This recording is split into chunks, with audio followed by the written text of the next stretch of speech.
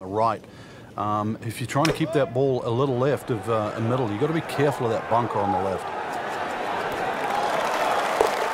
And it is in. Amazing.